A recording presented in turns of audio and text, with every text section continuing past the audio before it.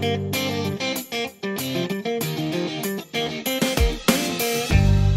morning everyone, it's the second day at the NAB 2019 show. It's still totally quiet in the halls and that gives me an opportunity to walk through the booth for you especially to show you all this great stuff we have. We brought almost all our controllers this year.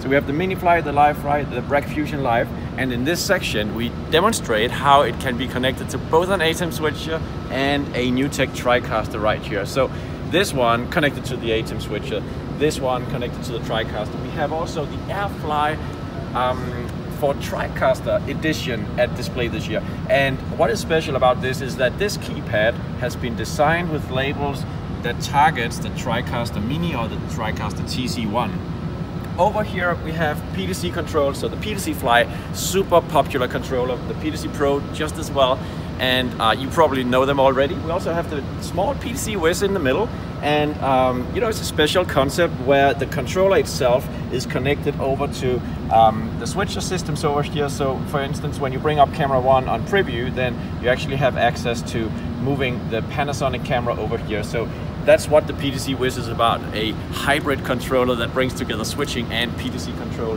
in a super compact form factor. Then of course we have the quick bar. We also brought a RackFly Uno controlling the video hub and isn't it just obvious how cool it is that you have the displays that tells you what is routed by each button instead of having those labels stuck onto the panel? It's just more beautiful, tidy, and of course, so much more flexible.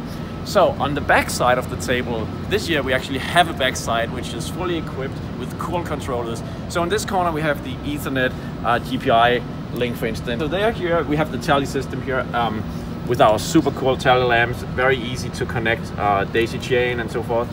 So the PTZ Pro and the PTZ Extreme, which is a new controller this year uh, on the backside here. Um, the PTZ Extreme is um, one of our news at NAB 2019. So it has a zoom rocker, super cool zoom rocker, aluminum um, design. We also have a focus wheel, which you can operate with your thumb. We have iris knob right here. Then of course, a lot of flexible knobs and buttons with displays so you can assign them to preset recall, menu selection, parameter adjustment, and you will always see the values and what they do right there. And it has a Hall effect joystick, which is also super cool. So the waveboard is um, that's actually pretty neat. Although this is not a use case that you will find in real life because it's connected to an ATEM switcher here, and I can go. Uh, if I go to this bank, you can see this is the ATEM switcher, and here I am talking to the TriCaster. So this configuration is kind of goofy because it talks to two switcher systems at a time, but it shows you why SKAARHOJ controllers are so flexible and valuable because they are configurable and can work with so much hardware in any combination uh, just to fit your needs. So on this table, we have a great display of cameras on the front, but let's look at the back side. So we have the Master Key 1, the Master Key 36, and are they not just awesome in this blue color, blue black design that we came up with? We're really proud about this. So um, super awesome controllers for the high end. Over here we have the AirFly Pro, which is a really popular controller, and we improved it to be even more flexible because this whole keyer section if you remember the AirFly just before, it had a keyer section with labels on the keys. This one has extreme flexibility because those keys now have displays. So the AirFly Pro is your universal switching or vision mixing panel that will go with ATEM systems, with vMix, with QPilot, with NewTek, Roland even. We are bringing up um, switcher support for some Roland switches. That's really awesome. The Crosspoint 24, or sorry, 48, uh, nice extension to the AirFly. And then of course we have this joystick section which uh, you can place anywhere you want. So uh, the rack units, Rackfly Duo, really cool panel. It's blinky blinky uh, in this configuration because it's talking to uh, our raw panel script on this Macintosh right here. Then we have the uh, Rack Fusion one and uh, RackFly Uno connected to the Kumo router. One thing you should know about this setup, which is not evident from just looking at it, we have like 10, 15 devices or something like that. It's almost every controller in this section connected to the Kumo router simultaneously. So for the RCPs on the other side, just come with me. What we usually do is we, we um, this RCP talks to the Kumo, this one talks to the Kumo, this one and this one talks to the Kumo, this talks to the Kumo, because when you press the preview knob, you want to bring up the source on the uh, smart scope right here. And um, this is, um, yeah, so, and then when I press, uh, now in this case, because we have four cameras, I press the camera selector up here and you can see it's routing. When I press cameras here, it's routing. It's routing when I press the camera or uh, the preview buttons over here and so forth. So on this side, which is really exciting too, we have two things going on. We have camera section and replay. So the replay section is uh, the XC8 hooked up with Softron M Replay. So you can come and see how that works. And of course you can go to that booth if um, you watch this video before NAB is over. I'm not even sure it will get out. But okay, cameras, really cool. We have this year a Sony camera at display. We control the Sony camera using Sony Simple Camera Protocol using this CNA1 box. So through Ethernet, we are talking to this box and the 8 pin cable comes out here and into the camera. Yes. Over here we have in the other end of the spectrum the Marshall CV350 camera. And of course Marshall have many POV cameras which we are already or uh, am going to support in the future. So you can see we are really, we have the whole span.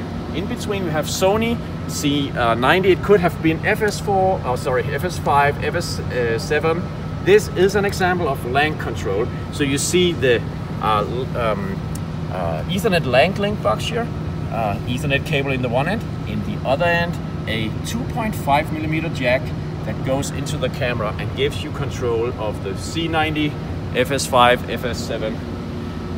One of the flagship things this year is really the EVA1 from Panasonic.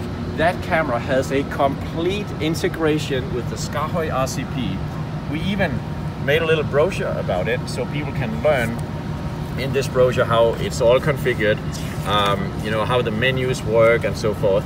And you can see it at the Panasonic booth. Likewise, we have the JVC on cameras here. This is still work in progress, but we're working with JVC to bring RCP support for all the cameras to market. So um, we already have a working prototype here where you can see how adjustment of uh, the relevant parameters on this RCP, like for instance, let's just take a look up here. We have white balance, uh, red and blue.